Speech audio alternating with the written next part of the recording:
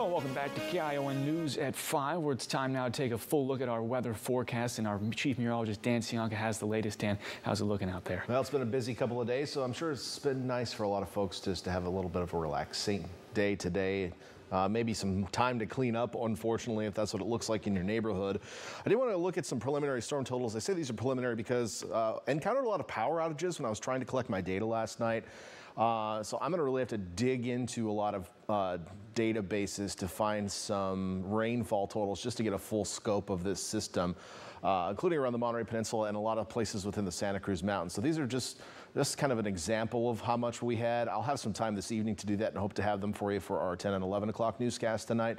But just is just kind of an example of how much rain we did see in the two-day period. That's Friday and Saturday. Friday being just kind of a cloudy day with moisture being pushed into the coastal mountains, and of course Saturday being the stormy day when the actual storm came through.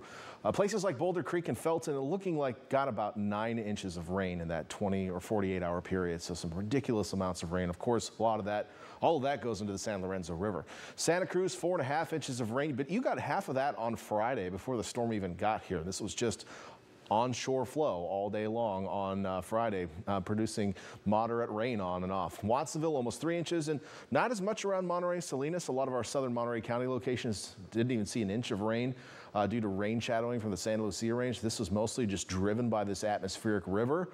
And uh, we've got more rain in the forecast, unfortunately. Let's talk about when we could see some. We have one band coming through tomorrow. Luckily, while there is a lot of moisture, the actual storm system that's using it won't be all that strong. So uh, we're not going to see a ton of rain tomorrow. We'll get some, maybe a quarter of an inch for some locations, but that's about it. It shouldn't cause any major problems.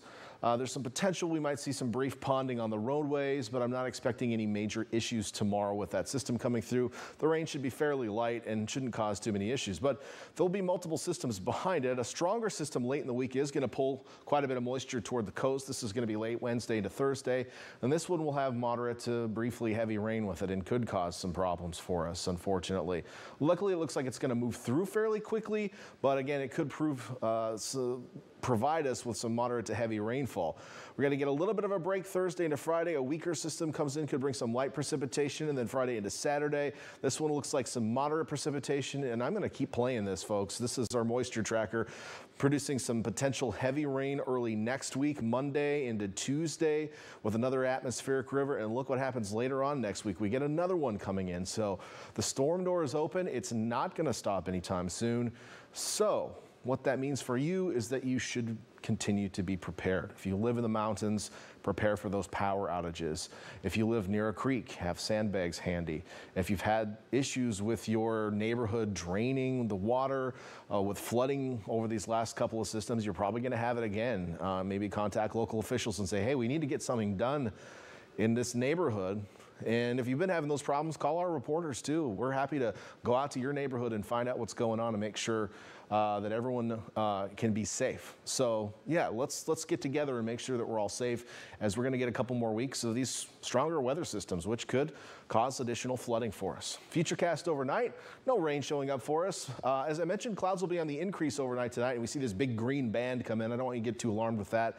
This is going to produce at most some very light precipitation tomorrow morning, but the actual frontal boundary, which will bring light to moderate rain, looks like it's going to come through tomorrow afternoon.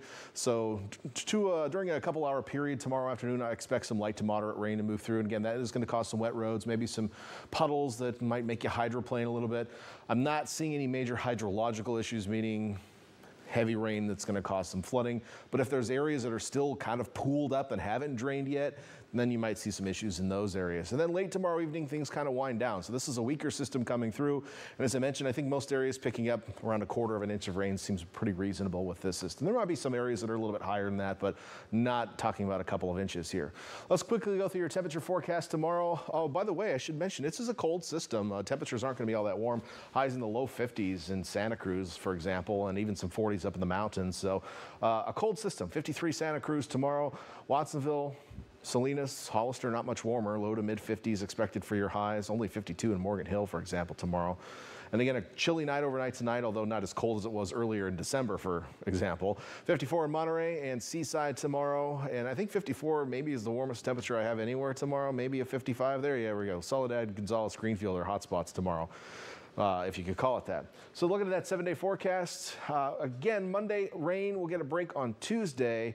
And then Wednesday, Thursday, Friday, and perhaps all the way into the weekend, additional rain showers. Again, those systems are a little bit, uh, you know, there might be some breaks in there. I don't want you to think it's going to rain constantly during that whole period. We are going to get some breaks, but right now, models are all over the place with the timing of everything.